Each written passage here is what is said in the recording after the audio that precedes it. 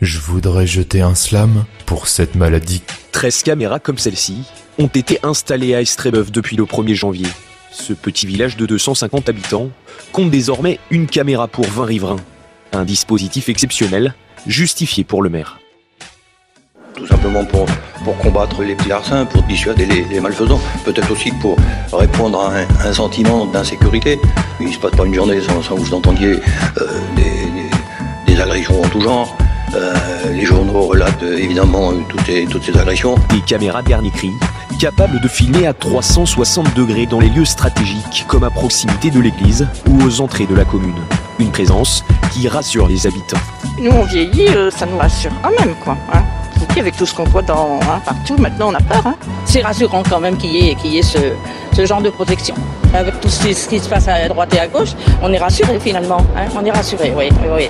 À l'origine de ce dispositif, une aide financière exceptionnelle du conseil départemental. Pour 13 caméras et 98 lampadaires, la commune a dépensé 28 000 euros sur un total de 88 000 euros de travaux.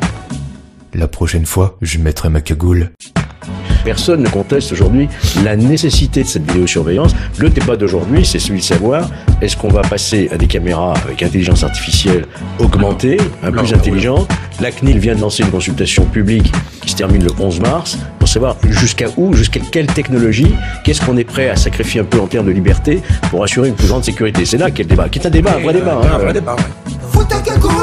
Il craint le pire quand les talibans prennent le pouvoir.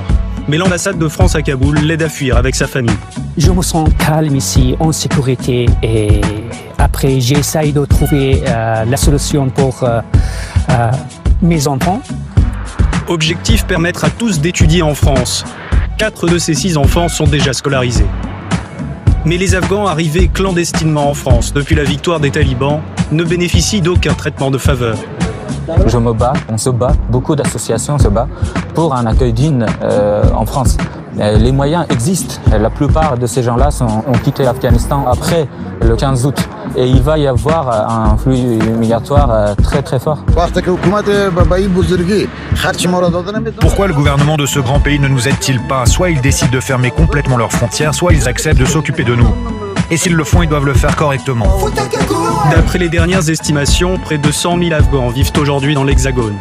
À leur arrivée, beaucoup finissent à la rue après un périple de plusieurs mois et entament un parcours du combattant pour obtenir le statut de réfugié. Depuis 2018, les Afghans forment la plus importante communauté de demandeurs d'asile en France. Le président de la Fédération nationale des chasseurs rappelle les règles élémentaires de sécurité à ses membres. Je vous rappelle que nous utilisons des armes létales et que chacun dans son utilisation doit être irréprochable. Sauf à Kaboul